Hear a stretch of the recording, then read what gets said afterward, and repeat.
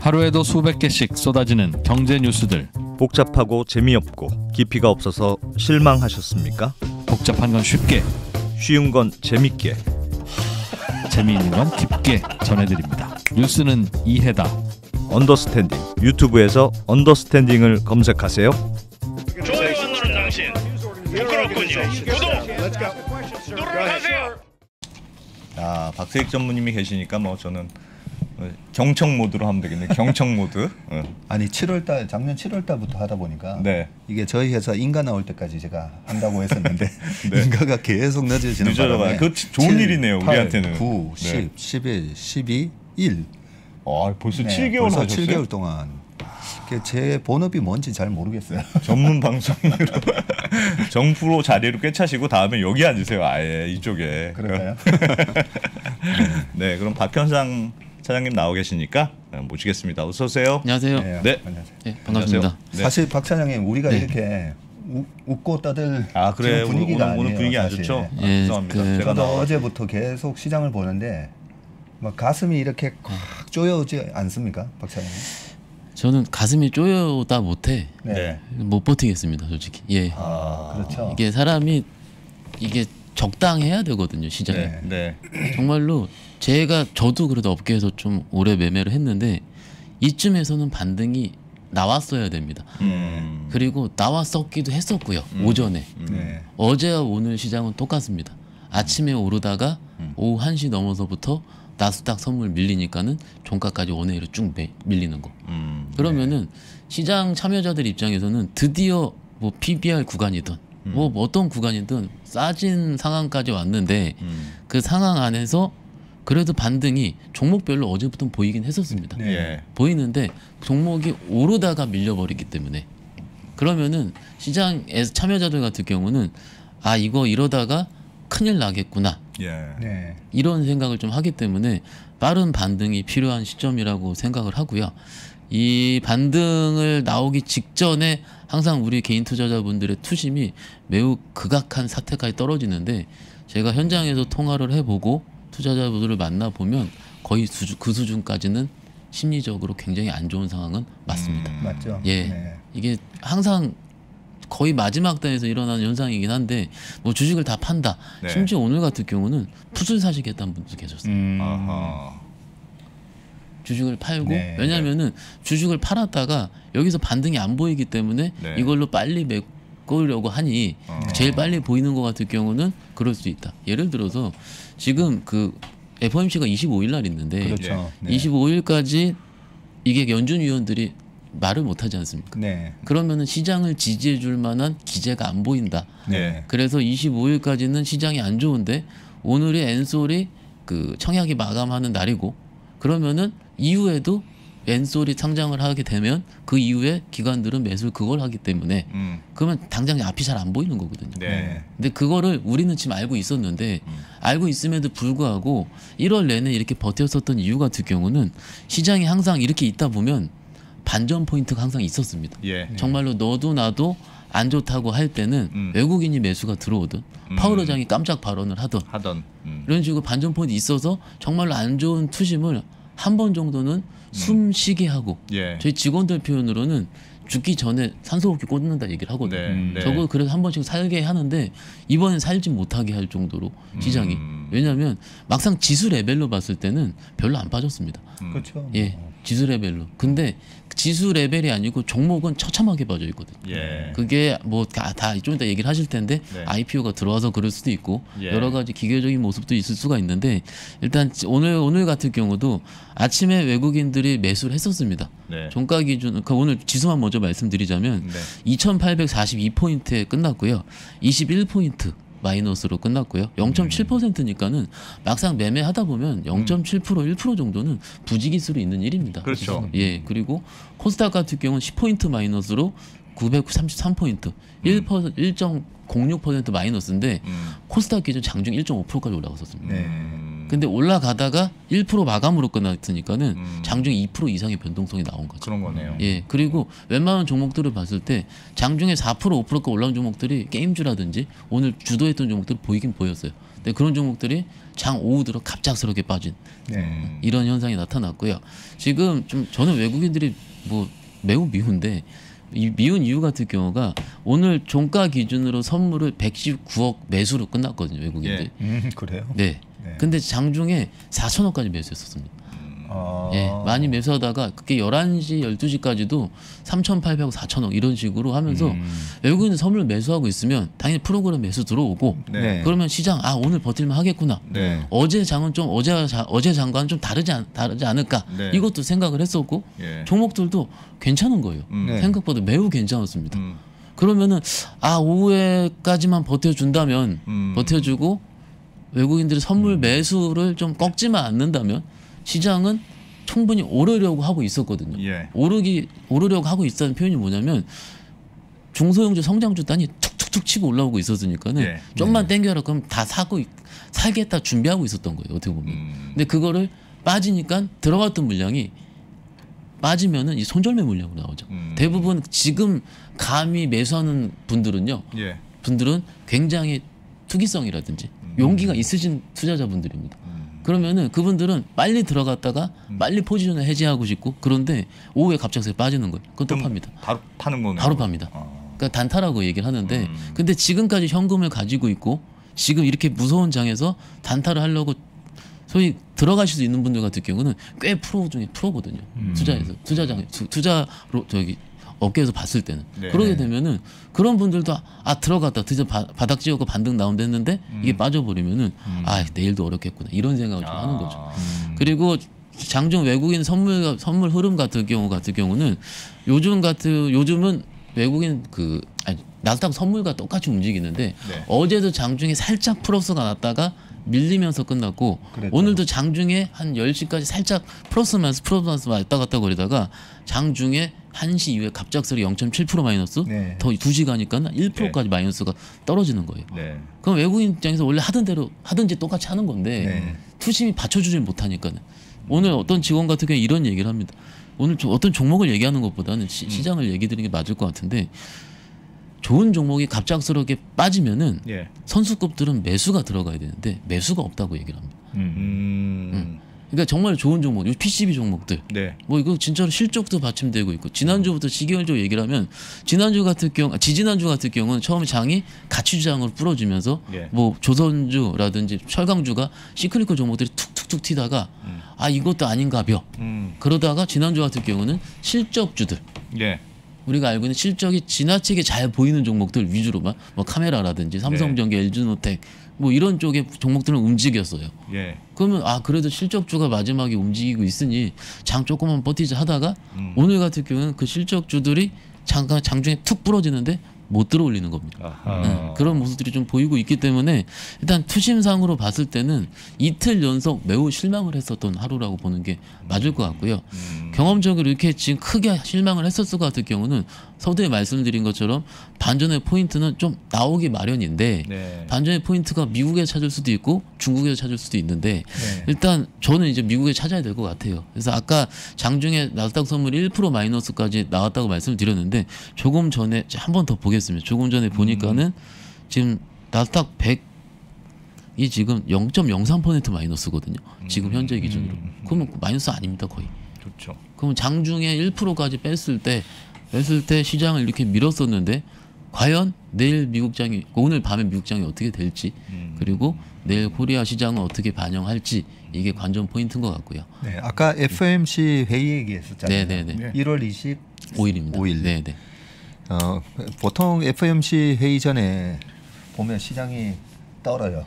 엄청 그렇죠. 떱니다. 무슨 네. 무슨 얘기 나올지 모르니까. 네, 무슨 얘기 나올지 네. 모르고 최근에 또 FMC에서 이제 연준 이사들이 그죠? 네. 약간 이렇게 강- 또 강하게 또 발언을 하더라고요. 발언을 했으니까 뭐 50bp를 한 번에 음, 먼저 올려야 음, 된다. 음, 그 그런 얘기를 왜 했을까? 음. 왜 했을까 보면 지금 연준이 싸워야 될 게 아우 이렇게 물가가 계속 올라가면 안 되는데 음, 음. 그래서 이 commodity 시장으로 들어가 있는 투기 세력들 예. 이게 돈의 그동안에 풀린 유동성으로 지금 여기저기 이제 막 commodity 가격이 네. 너무 많이 오르잖아요. 네. 유가도 그렇고. 그 유가랑 이 commodity 가격이 계속 올라가다 보니까 10년물 국채금리도 올라가고. 음. 네. 그그 부분을 잡는 게 가장 주목적이라고 봐요. 그 그런 측면에서 이제 좀 매파적인 발언을 하면서 음. 예, 너네들 좀 진정해라. 네. 음. 예, 이런 목소리를 줬다고 보고 시장이 이렇게 약해지잖아요. 네. 약해지면 FMC 또 회의에서 보면 약간 또 비둘기파적인 얘기들이 누가 또 한- 많이 나와요. 그 중간에 또 나올 네, 한 좀- 번씩은 예, 또 예. 나와야 되니까. 예. 그 그런 의미에서 이번 FMC 회의 앞두고 너무 음. 걱정 안 해도 된다라는 음. 생각이고요. 이렇게 시장이 먼저 이렇게 네 맞습니다. 예, 예. 먼저 이렇게 막 벌벌 떠는 모습을 보이면 예, 이게 시- 잘못했습니다 이거죠. 예. 시장에서 이렇게 오전에 좀 괜찮을 것 같다가 오후에 이렇게 힘이 없이 이렇게 쑥 빠져버리는 게 되게 모양새가 안 좋은 거죠. 그렇죠. 매우 지저분하죠. 네. 예, 예. 어.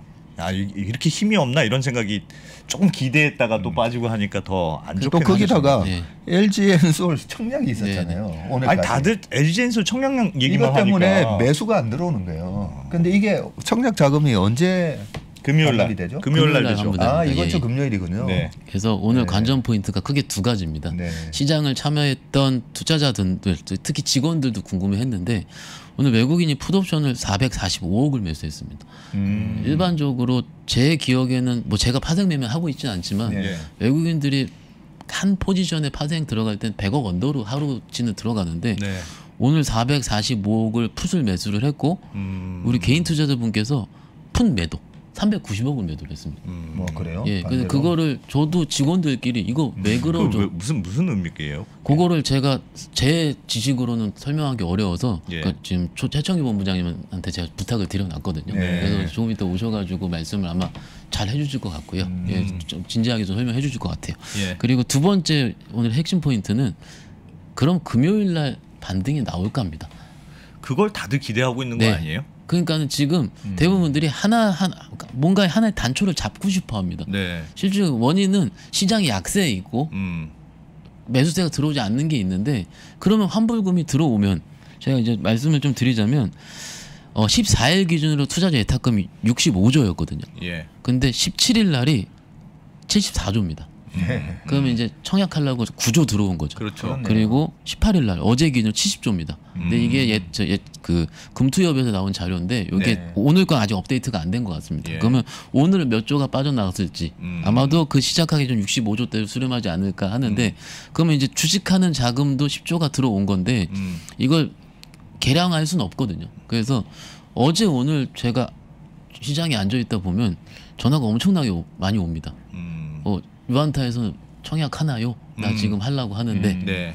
죄송합니다. 저희는 이번에 인수단에 참여하지 못했습니다. 네. 왜 안 해요? 그러니까 어. 그건 뭐 윗분들 여기 저는 예. 모르겠습니다. 예. 말씀드리는데 오늘은 잠깐 빼- 저보고 전화가 와가지고 고객께서 하시는 말씀이 오늘 주식 살 거예요 물어보시더라고요. 네. 어. 일단 열어봐야 알 것 같습니다.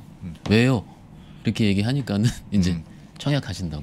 그래서 네. 거기서 몇 주나 받으시려고 이렇게 좀 말씀을 드리긴 했는데 음. 그 정도로 일단 열광입니다 지금. 은 음. 그래서 오늘 장 끝나고 좀 기사가 나온 거 말씀드리자면 어, 엔솔이 청약이 마감이 끝났고요. 114조 증거금 들어왔다고 하고요. 114조요. 네. 그리고 건수로는 440만 명이 청약을 했다고 합니다. 아, 진짜? 네. 근데 이게 작년에 4월 달에 SKIT가 청약이 있었는데 네. 그때 증거금이 81조 들어왔거든요. 네. 네. 그때보다 한 50% 이상 더 나온 효과고요. 그리고 그때 기준으로 그러니까 그때 이후로 사상 최대 가 나오는 거고 음. 그리고 이제 균등 배정이 일부 있지 않습니까? 네. 그래서 증권사 기준으로 봤을 때 어, 미래세 같은 경우는 어제 이미 영주 확정이 났습니다. 그래서 오늘 미래에서 빠져나와서 취소하고 딴 데로 가냐 마냐 뭐. 어제 그러니까 어제 이미 끝난 상황이고 네.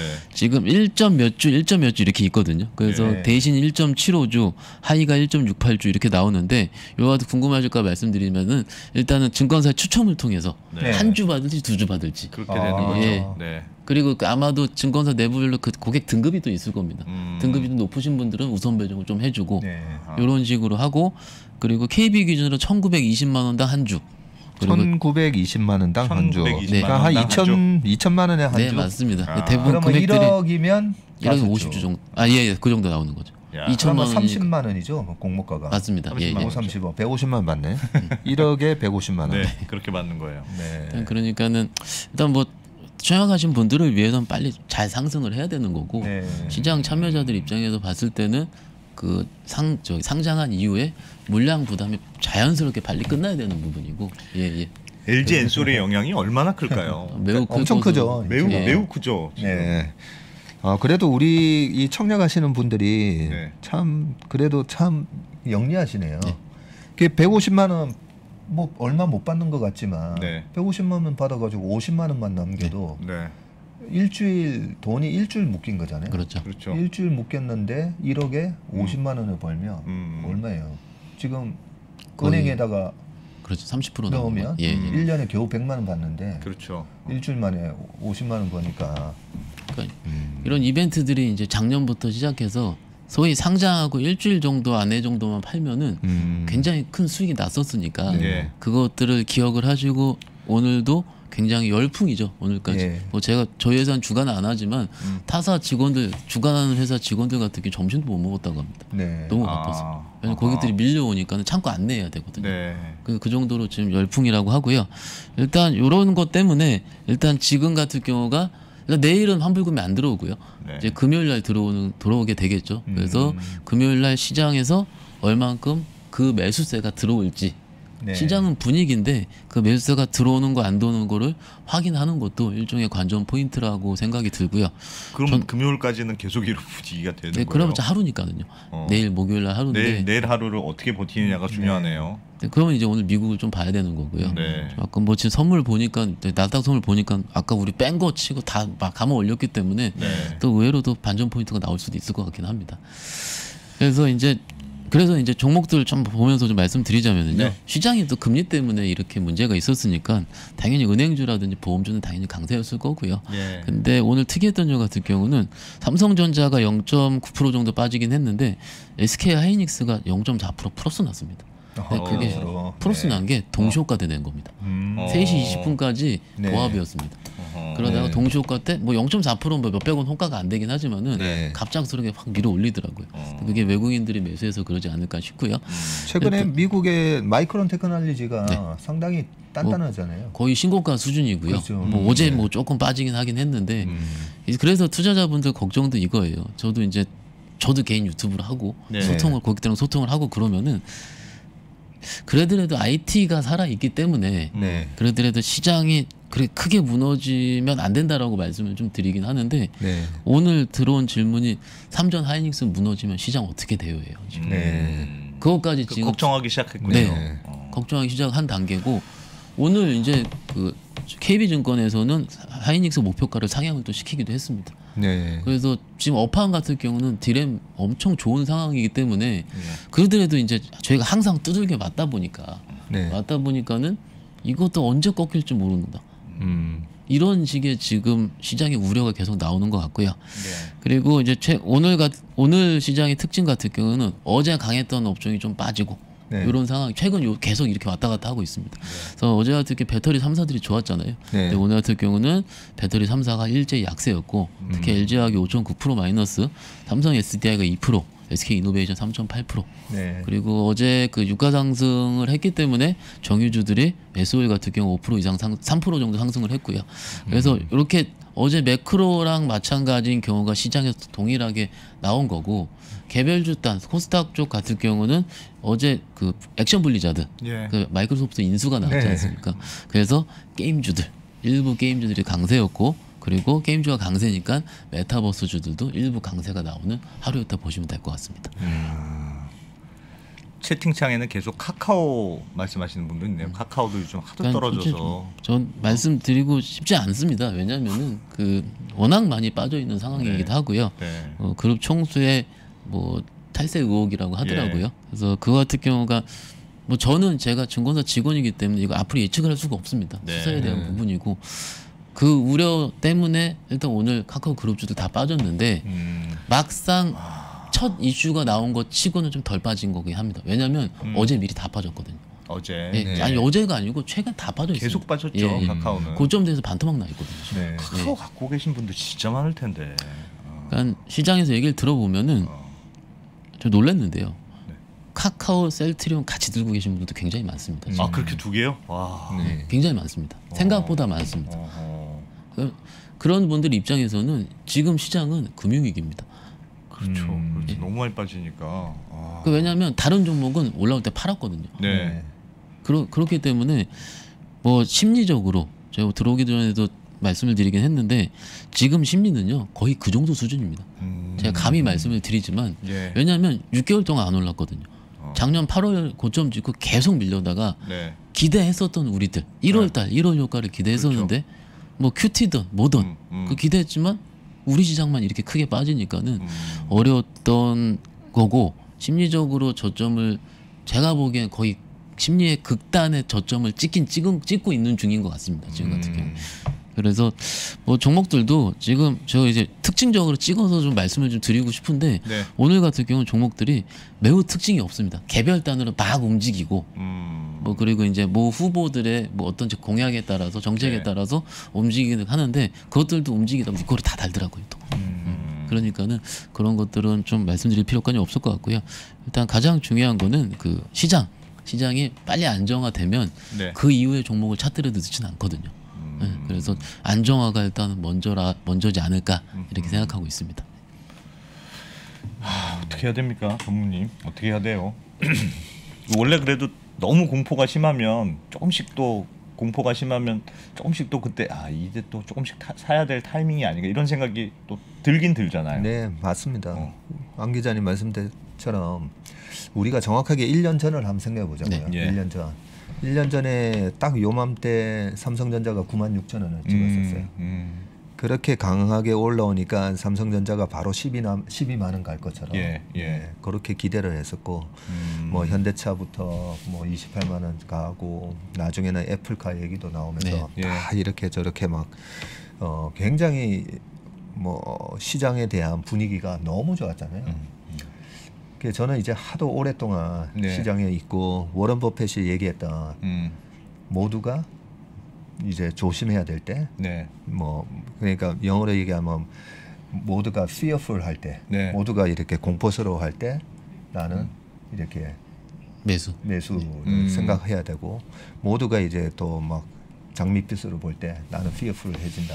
뭐 이런 얘기처럼 네. 제가 오랫동안 지나다 보니까 그 시장의 분위기가 정말 비슷하 거꾸로 움직여요. 음. 예, 그래서 뭐 피트린치는 칵테일 파티를 얘기했고 음.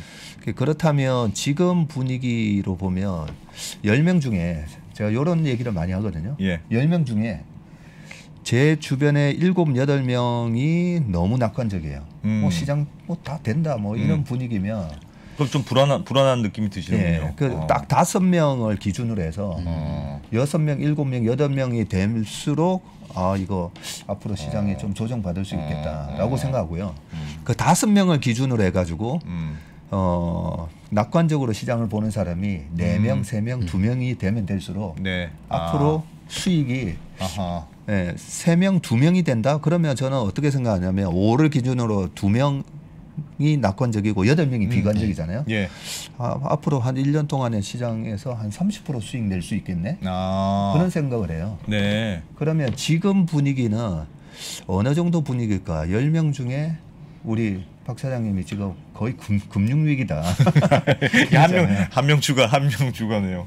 그러면 네. 아니 박, 박 사장님이 네. 워낙 전문가시니까 또 좀 다를 수는 있긴 네. 한데. 어. 그래서 그 10명 중에 지금이 거의 한 7명 정도는 비관적으로, 비관적으로? 바뀌고 최근에 진짜 뭐 한국 시장에 대한 네. 여러 가지 비관적 그래서 이제 미국 시장만이 또 답이다 했다가 지금 네. 나스닥이 거의 11% 빠지니까요. 예. 예, 그런 식으로 우리가 이래 대중의 심리 그게 윤지호 센터장이 그 얘기를 많이 하거든요. 네, 네. 음. 대중의 기대치를 계속 음. 봐야 된다. 음. 예, 그런 식으로 빠, 보면 어, 일단은 심리적으로는 되게 이렇게 아까 좀 시장에 너무 예. 비관론자가 이제 좀 많아졌어요. 음. 예, 그런 부분이 있고 지금은 저는 이제 금융 위기라기보다는 이거 닷컴 버블이 깨졌을 때 네. 이제 지금부터 닷컴 버블이 깨지듯이 시장 망가진다라고 얘기하는 분들도 있잖아요.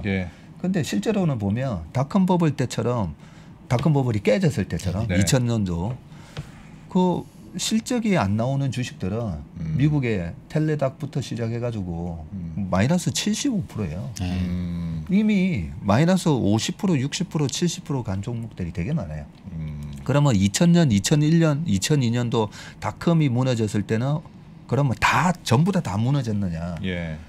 안 그랬어요. 음. 그때 웰스파고 같은 은행들이 이제 꾸역꾸역꾸역 네네. 올라가고 음, 우리나라도 이런 구경제에 해당되는 주식들이 꾸역꾸역꾸역 올라갔어요. 음. 그때 이제 부동산도 뭐 네. 나쁘지 않았었고. 예, 그래서 너무 이제 시장 자체가 무너진다라고 우리가 두려워할 필요는 없는 것 같아요. 하여튼 하여튼 저도 요즘 시장 보니까 거- 겁나긴 겁나요. 아침에 일- 일어날 때 이렇게 보, 좀 보기가 네. 보기가 겁나더라고요. 약간 네. 얼, 얼마나 또 빠지려고 그러는지. 예, 그래서 저는 지금 신용을 쓰고 계시지 않은 분들이라면 네. 그냥 계좌를 잠시 아. 덮어놓고 네, 맞습니다. 아, 예, 예. 덮어놓고 좋은 책 하나 딱 잡아가지고요. 아예 예, 아. 한 보름 동안 책 보신다 생각하고 네. 음. 예, 신용을 쓰지 않는다면 네. 음.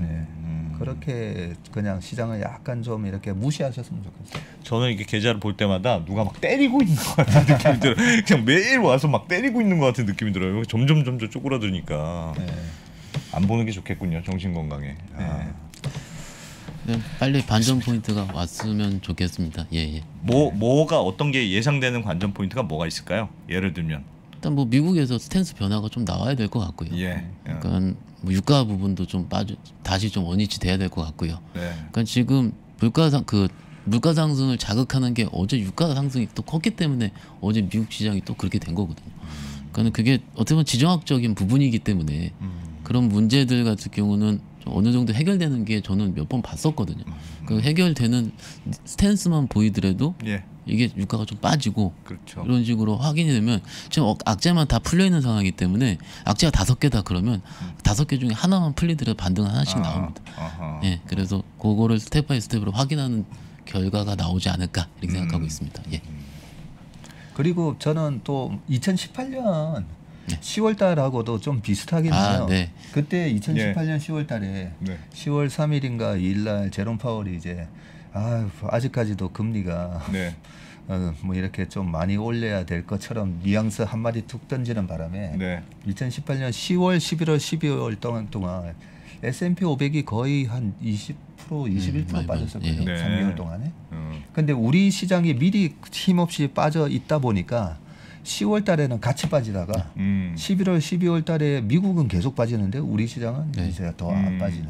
음. 그때도 사실 금리, 인플레이션이 음흠. 시장을 자극을 했었어요. 아니 근데 예전에 그 그거 어떻게 그렇게 기억을 잘하세요? 2018년 10월에 무슨 일이 있었는지 저는 기억이 하나도 안 나는데 네, 힘든 건 다 기억납니다. 아, 힘든 걸 하시 그러니까 힘들었기 때문에. 힘들어서 그렇군요. 아, 알겠습니다. 네. 그럼 이 오늘 정- 이 정도로- 마감은 이 예. 정도로 네, 하죠. 이 정도로 하나요? 하겠습니다. 예, 예. 어, 우리 박 차장님 오늘도 고맙습니다. 수고하셨습니다. 일타- 현장에. 네, 일, 감사합니다. 일타 일타 시황맨 박현상 차장님 고맙습니다. 감사합니다. 아 다른 거 좀 보여주세요. 다른 것도 다 마이너스 대충 파란색은 보셨잖아요, 그죠? 예, 여러분 좀 보셨잖아요. 요- 약세장 만나니까 대응하기가 쉽지 않으시죠? 안녕하십니까 강원국입니다. 자산 배분 전략의 달인 이 강환국 작가가 속 시원하게 해결해 드리겠습니다. 가장 중요한 거는 이렇게 투자를 하면은 최악의 순간에도 그 10에서 15% 정도 손실 보고 끝난다 뭐 이런 겁니다. 하락장에서의 손실은 제한적으로 그 사실 복리 15%가 아무것도 아닌 것 같은데 네. 이렇게 하면은 원금이 4, 5년에 한 번 더블이 되고 50년 동안에 1000배 이상이 되는 거를 볼 수가 있습니다. 복리의 마법으로 수익은 길게 강환국 작가의 자산 배분 전략과 함께 성공 투자하시기 바랍니다. 예, 꼭 사주십시오. 후회하지 않을 겁니다.